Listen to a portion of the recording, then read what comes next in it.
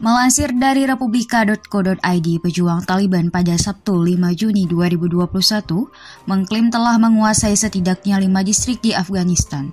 Juru bicara Taliban Zahibullah Mujahid menyatakan Taliban menguasai distrik di Provinsi Selatan Zabul dan Uruzgan, serta Provinsi Tengah dan Timur Ghazni dan Nuristan. Sebelumnya, Taliban mengklaim telah menguasai empat distrik di Provinsi Maidan Wardak, Baklan, dan Lakman. Para pejabat Afghanistan menyebut empat distrik itu sebagai tempat perlindungan strategis untuk menyelamatkan korban sipil. Kementerian Dalam Negeri Afghanistan menolak klaim Taliban. Juru bicara Kementerian Dalam Negeri Tarik Aryan mengatakan kepada Anadolu Agensi bahwa pasukan keamanan hanya memiliki tempat perlindungan strategis di Zabul. Dalam 24 jam terakhir, setidaknya 20 pasukan keamanan Afghanistan tewas di tiga provinsi berbeda.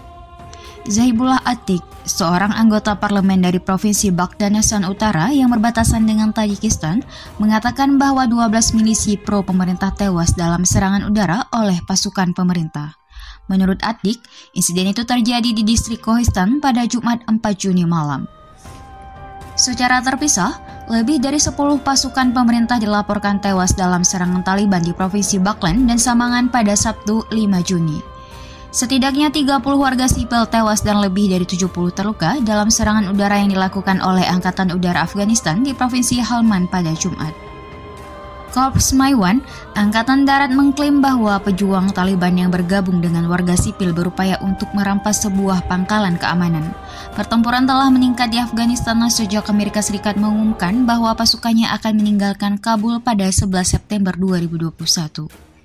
Menurut Kementerian Dalam Negeri Afghanistan, lebih dari 250 warga sipil menjadi korban dalam serangan yang diduga dilakukan oleh Taliban pada Mei 2021.